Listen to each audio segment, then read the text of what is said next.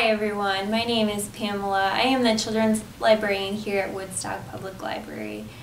We are sad that we couldn't do a special Groundhog story time like we have been in years past, but that's okay because this year we wanted to do something virtually and hopefully more people can enjoy this special story time. Uh, I'm wearing my Frozen shirt in hopes that our groundhog Willie won't see his shadow. So fingers crossed that spring will be on its way very soon. Uh, in honor of Groundhog's Day, I'm going to do a short reading of who will see their shadow this year and we will have some special crafts here at the library as well. One of the things that we will be doing is we're going to be doing book packs which is basically a take-home story time. You can check out a groundhog book and with the book there will be a rubber band craft kit and inside the kit you can make a groundhog puppet for you to take home. We also have a coloring sheet for you to color and share with others and finally it comes with a groundhog song that you can sing together with your friends and family. So this will be available while supplies last, and they will be available at the front of the children's department on a book display. So you don't even, you don't even have to ask anybody for it. You can just come on back and grab it.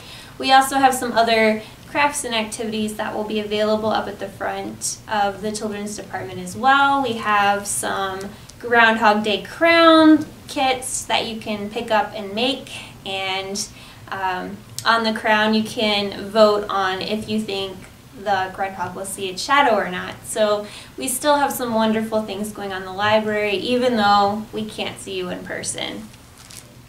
So with those announcements out of the way, let's go ahead and let's read our special book today. Who will see their shadows this year? It's February 2nd. The animals are tired of winter.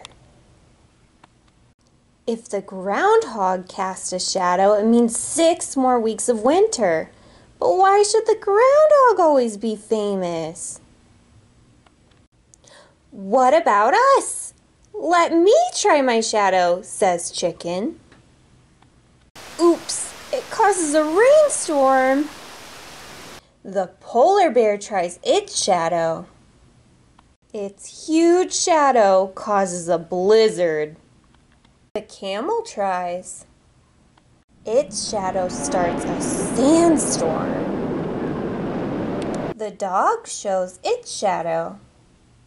Oh wow, it gets foggy. Will pig's shadow work? Boink! It's a hurricane!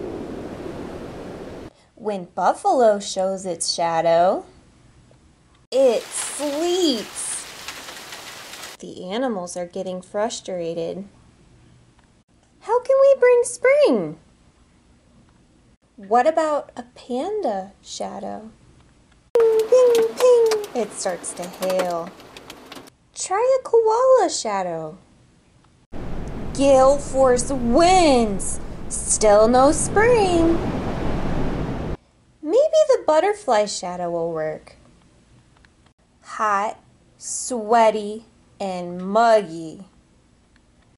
The ring-tailed lemur swings into the show to show its shadow. It gets misty like a rainforest. A peacock shadow might bring spring. Wow, it's a tornado! The noise awakens the groundhog. Look, the groundhog has no shadow. It's spring, it's spring. Winter is over. Happy Groundhog Day. Happy Groundhog Day. Bye.